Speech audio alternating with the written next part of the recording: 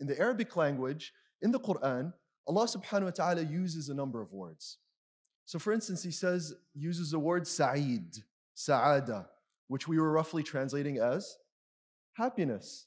Right? يوم يأتي لا تكلم نفس إلا بإذنه فمنهم شقي وسعيد. Allah subhanahu wa ta'ala says in Surah Hud, on the day when no soul will, uh, يوم يأتي لا تكلم نفس إلا بإذنه, well, no soul should utter a word except by his leave, by Allah's permission. And he says, and amongst them will be the wretched and the sa'id. Sa'id here means the one whose good fortune will be the hereafter, will be paradise. So it's an ending. Allah uses that word, sa'ada, sa'id. He also uses the word farah. وَيَوْمَئِذٍ يَفْرَحُ الْمُؤْمِنُونَ بِنَصْرِ اللَّهِ in Surah Rum, on that day, the believers will have farah. That's joy. It's glee. It's a feeling of, of, of, of elatement. A person feels light and, and happy, right? Allah subhanahu wa ta'ala uses the same word to describe the disbelievers actually.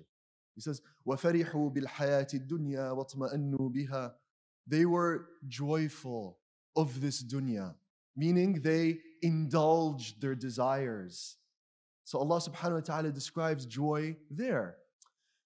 Then the question is for us, what's happiness feel like? You know, happiness is a state, it is a hal. What does it feel like? How can we describe it? What words can we use native to our tradition to describe the idea of happiness? I want to tell you a short story. When I was researching this topic, and my, my mind was taking me in different directions. Should we speak about gratitude? Should we speak about this? Speak about that?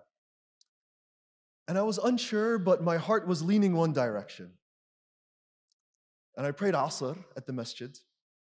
I finished the salah and I turn around.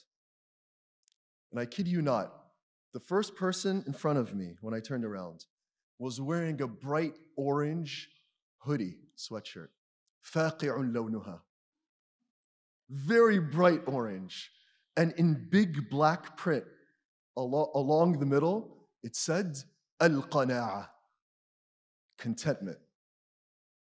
And as though that is not enough, the, the like in smaller print right underneath there, it said al qana'atu miftahu sa'ada. Contentment is the key to happiness. So I looked at this person, a friend who comes to our masjid. I said, Jazakallahu khairan. He said, For what? I said, It doesn't matter. Jazakallahu khairan for wearing the sweatshirt today. today.